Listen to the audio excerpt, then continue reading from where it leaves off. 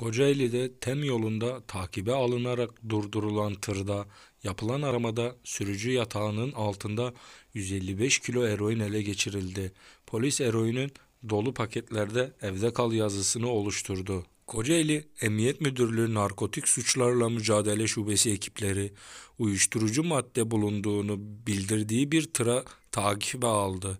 Tem yolunda çok sayıda polis ekibince adım adım takibe alınan tır belirlenen noktada durduruldu. Tem yolu üzerindeki Bölge Trafik Müdürlüğü'nün bahçesine çekilen tırda narkotik köpeği ile arama yapıldı. Narkotik köpeği şoförün yatağının bulunduğu kısımda tepki verdi. Yatağın altına bulunan çuvallar çıkarılırken içlerinden 300 paket halinde 155 kilo eroin çıktı. Polis tır sürücüsünü gözaltına alırken olayla ilgili soruşturma başlatıldı. Bu arada polis eroin dolu paketlerle evde kal yazısı oluşturarak mesaj verdi.